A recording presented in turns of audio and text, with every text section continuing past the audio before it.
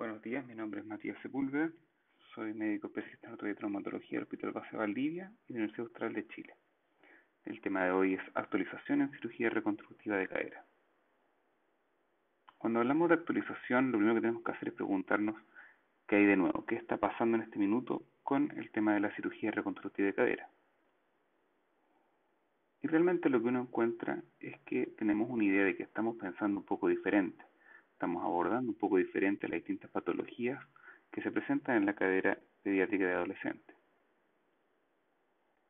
Siempre nos han enseñado que tenemos que tener en consideración la cadera, tenemos que tenerla siempre en nuestra mente cuando evaluamos un paciente pediátrico. ¿Y qué pasa con esta cadera? Nos enfrentamos a una deformidad funcional, una deformidad ósea que nos trae algún problema mayor, o simplemente nos encontramos frente a alguna alteración estructural que no tiene una significancia clínica.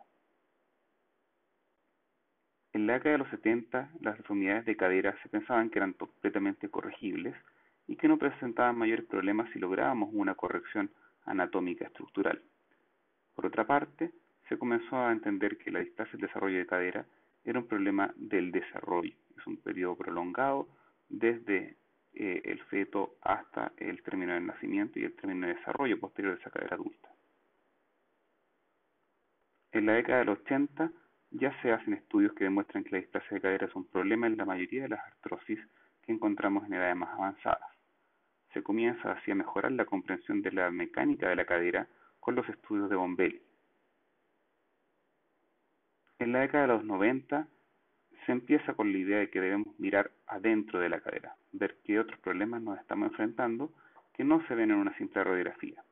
Y es así como el borde acetabular y el labrum aparecen como estructuras fundamentales en este tipo de patologías. Ya en la década del 2000 nos damos cuenta que hay muchas cosas aparte de la displasia que tenemos que estudiar en estas caderas. Y es así como nos enfrentamos con el pinzamiento femoroacetabular y signos de inestabilidad clínica. Por lo tanto, nos encontramos que muchas veces existió algo que pudimos hacer mejor para evitar ciertas secuelas de patología pediátrica, como son el pinzamiento femoroacetabular que nos llevará a una artrosis consecuente. También en patología displásica cadera, muchas veces pensamos que pudimos haber hecho algo mejor para mejorar la inestabilidad y de esta forma lograr un resultado mejor en cuanto a la carga funcional de esa cadera con una sobrevida mayor. Sabemos que la prótesis de cadera fue un desarrollo bueno, muy bueno. Es una de las cirugías que ha tenido mayor éxito. Se habla que fue la cirugía del siglo pasado, eh, desde el desarrollo de Charlie en la década del 60. Pero también sabemos que no es lo mejor, ya que tiene problemas de aflojamiento, de una corta sobrevida en pacientes jóvenes.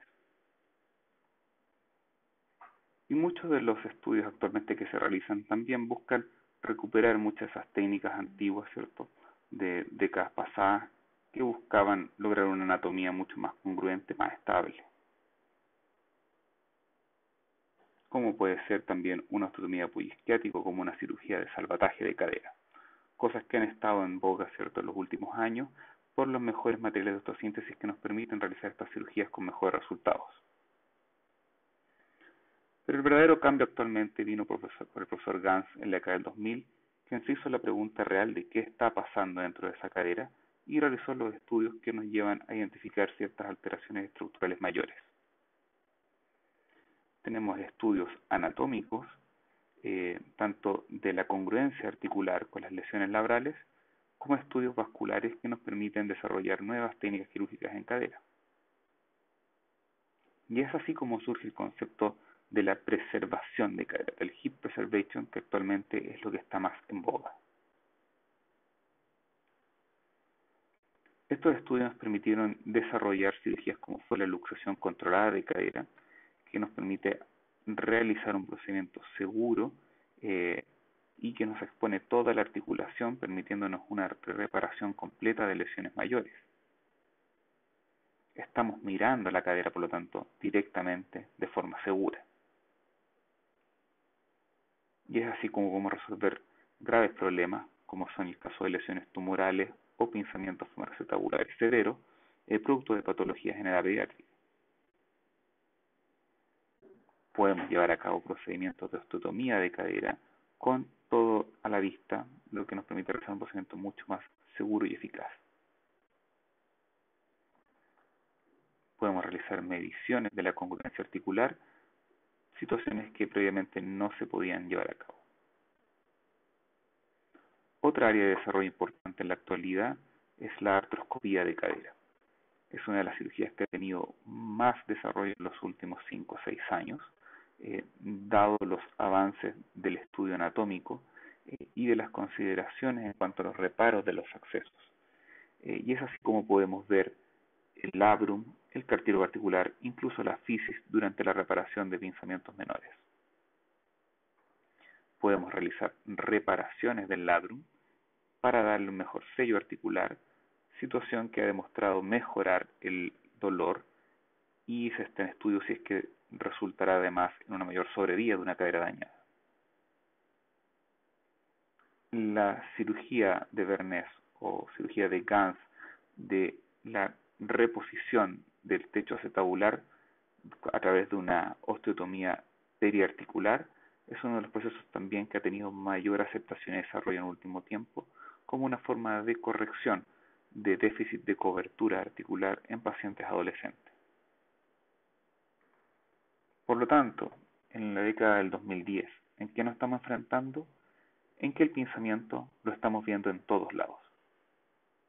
Pero ojo, que los síntomas no siempre se van a correlacionar con los hallazgos anatómicos, es decir, podemos tener una resonancia magnética que nos demuestra una rotura labial en un paciente sano, en el 50% de los casos, y que además hay otros factores que influyen en el dolor de cadera, sobre todo en los adolescentes, como son la edad, la actividad y factores psicológicos. Por esto es mucho mejor realizar un abordaje clínico, tanto diagnóstico como terapéutico, en distintas etapas, o lo que denominamos por capa. Primero, abordamos la capa osteocondral, es decir, vemos en los estudios imagenológicos la congruencia articular, tanto estática como dinámica. Luego pasamos a la capa interna, en el cual vemos cómo están las estructuras del labrum, los ligamentos, y si tenemos una buena estabilidad estática. Posteriormente pasamos a la capa muscular, donde buscamos todo lo que contiene esta cadera alrededor, el piso pélvico, el piso lumbosacro. Y finalmente tenemos que evaluar la capa neuromecánica, es decir, el control neurológico y cinético de estos elementos. De esta forma iremos avanzando hacia un diagnóstico más complejo y podremos ver desde qué punto partir en el tratamiento. Teniendo claro que nuestros pacientes pueden ser muy diferentes, diferentes en cuanto a las expectativas, cuándo va a ser el retorno deportivo de un paciente, por ejemplo, en los síntomas que se presentan, cuando presento esos síntomas, cuáles son los requerimientos, la demanda a la que someteremos a esa articulación y las posibilidades terapéuticas con las que podamos contar. Es por lo tanto importante que en la actualidad el manejo individualizado dinámico debe ser el foco de nuestra atención. Para de esta forma comenzar con una prevención de la patología, un tratamiento adecuado con el fin de conseguir una vida prolongada de nuestra articulación.